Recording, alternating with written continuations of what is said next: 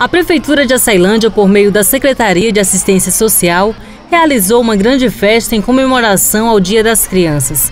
500 crianças participaram de um dia inteiro de atividades recreativas. Futebol, brincadeiras e gincana fizeram parte da programação. Todos fazem parte do serviço de convivência e fortalecimento de vínculos. O objetivo foi comemorar a data e assim levar uma maior interação entre todos. Nós tivemos o apoio do nosso prefeito Aloysio com a nossa primeira-dama Valéria. E nós aqui estamos com todas as crianças do serviço de convivência do nosso município.